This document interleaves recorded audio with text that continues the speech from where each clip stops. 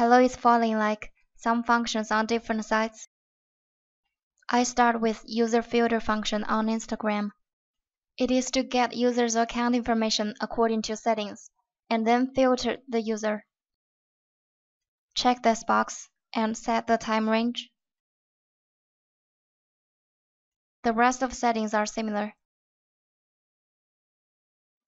Photo filter function on Instagram. It is to filter photos according to settings. The settings are similar to those of user filter function. Check the box and set the time range. I still skip the rest of settings. Save pin function on Pinterest. It is to save your local photos to your Pinterest board. If I'm going to save a local photo, here photo source, I should select photo module, and then import the local photo to photo module. If I'm going to save a photo from web, here photo module, I should select URL module. URL here is the web link of that photo. Board name should be as simple as possible. It's better to be one or two English words, or a combination of English word and number like this. Repin function on Pinterest. It means to reproduce others' pin in my board. It's not to save the pins that already exist by default. So if I want to save such pins, I should check this box.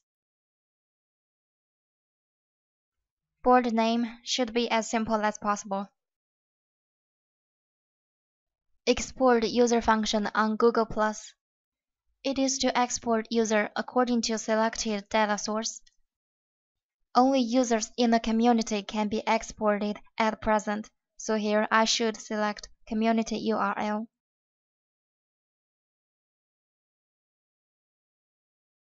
Add to contact function is to add users to contact according to data provided. Here's user URL. Here to select account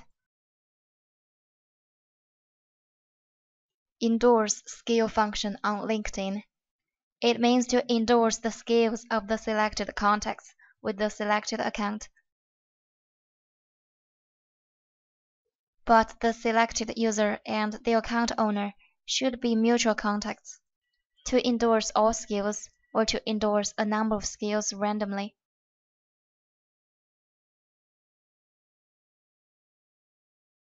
Accept request function on LinkedIn. It means to accept all friends requests sent to the selected account. The operations are the same as those of accepting requests function on Facebook. Get posts information function on Reddit. It means to get information of the post according to post URL. Generally, it is used to reproduce others' posts. Through this module, find post information first and then select URL of post to be reproduced in post source.